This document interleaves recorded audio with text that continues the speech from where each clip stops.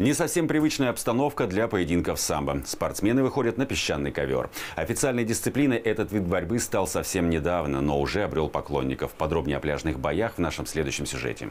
Борцы выступают босиком. В остальном экипировка такая же. Этот зрелищный, но имеющий свои особенности вид спорта набирает популярность. Песок дополнительные сложности, конечно, создает. Во-первых, э, после падения в песок уже тяжело продолжить борьбу, поэтому борьба ведется здесь до броска. Э, второй момент, все-таки вязкость покрытия, она влияет на движение, и получается борьба более такая э, более силовая, более упорная. Иван Захаров в самбо уже 14 лет. Прошел через множество соревнований и чемпионатов, поражений и побед. Признается, на песке бороться сложно даже ему, мастеру спорта России. Если мы, например, самбисты, дзюдоисты, где мы можем попрыгать, здесь такого уже не будет.